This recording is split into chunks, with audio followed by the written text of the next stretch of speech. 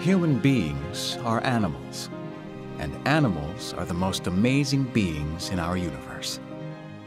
They rejoice and play, they nurture their own young, and they mourn their dead. They develop deep bonds, sometimes even with animals of other species, as dogs do with humans. Many solve complex problems and act with a sophistication, skill, and intelligence that undercuts the caricature of animals as mere brutes. Love animals, instructs Father Zosima in Dostoevsky's Brothers Karamazov. God has given them the rudiments of thought and joy untroubled. Don't deprive them of their happiness. Don't work against God's intent.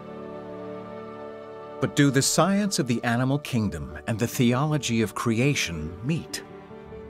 The answer lies in communication. Animals form systems of communication on the basis of sensory experience. Hoots, grunts, growls, songs, and dances, science has discovered, help animals coordinate in regards to what we might call sensual meanings food, danger, sex, or sleep.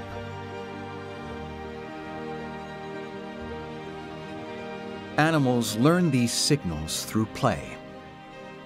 Rituals, gestures, vocal signals, and imitation.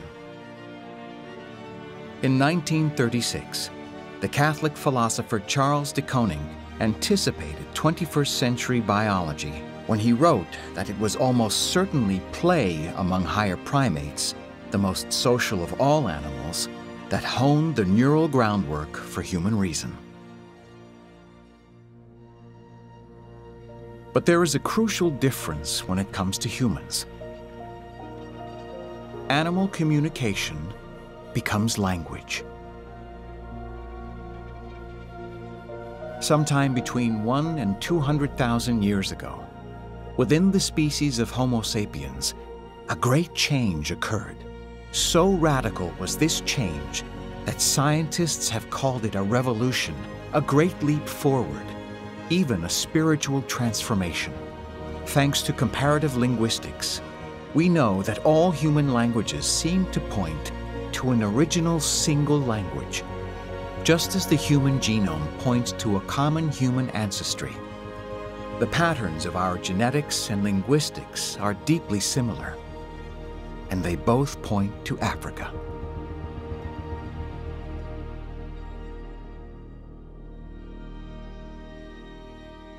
What happened there? Somewhere, at some point, mere signals became symbols, and sounds became language, an entire network of symbols. This network allowed us to interpret subjective experience in an objective way. As animals, we remain tied to sensual meanings, but through language, we transcend them. We know the world and ourselves in a qualitatively different way, beyond our biological needs, and the environment that provides for them. Language changed what it meant to be an animal for our species. Animals make judgments. The human animal makes judgments about his or her judgments. Animals know things. We know that we know. In short, language expresses reason in its user. Hence, we call the human animal a rational animal.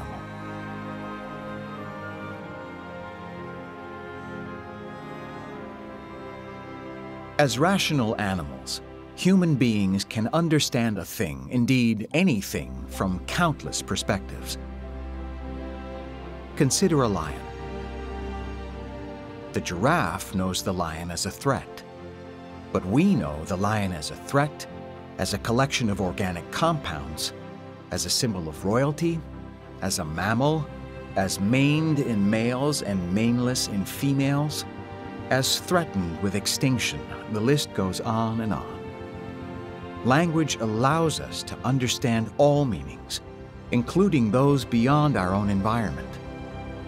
Even the distance of our planet from Alpha Centauri and the first moments of the expansion of the universe are open to human reason. The Catholic novelist Walker Percy, whose study of language was inspired by his own daughter's deafness, put it memorably. The signal using organism has an environment, he wrote. A language user has an environment, but it also has a world. That world is segmented and named by language. Even the gaps in knowledge are named by the word gaps. The world of the language user is a totality.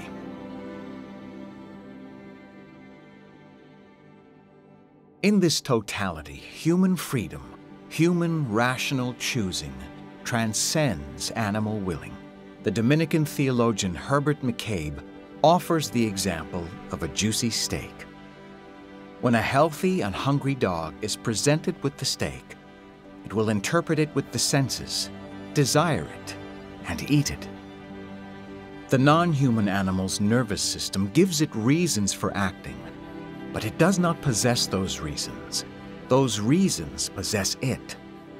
But when we, equally healthy and hungry, are presented with the same steak, we will share a version of the dog's interpretation and maybe even its desire for it. But through language, we can then decide to eat it or not. We can reason that it belongs to someone else, is too full of cholesterol, or is too expensive. With the right neural complexity and manual dexterity, a non-linguistic animal might even make a tool to help procure steaks. Like the hand axes that our evolutionary forebears began making 1.8 million years ago. And start fires to cook them, as they also did. But it will not come to a decision. Language users stand apart. We move ourselves in a more radical way than any other animal and we can even choose against desires. We carry within us all that animal evolution provided, and it is the rich trove from which so much of what it means to be human is drawn. But we carry it all in a new way. Language is not reducible to mere communication, and it offers a path of truth and love or lies and loneliness, whichever we freely choose.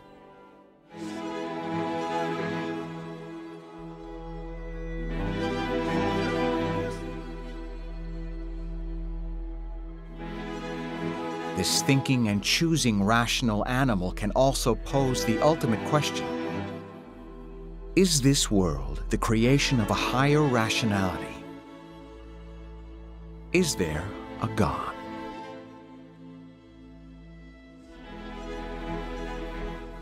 From the 70,000 year old ritual artifacts found in Rhino Cave in Botswana, to the many church buildings on a drive through any city today, the search for an answer has been around as long as language and reason have made it possible.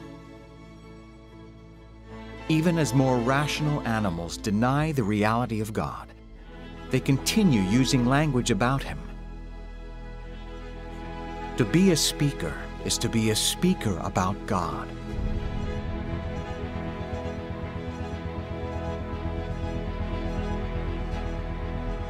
It is here where science and theology meet. Our Christian faith offers us a word, an article of language, that can show both the connection and the difference between animals and humans. It is the Hebrew word, amen, which means, so be it. Animals display a kind of amen by acting according to their natures. They act, in Father Zosima's words, according to God's intent.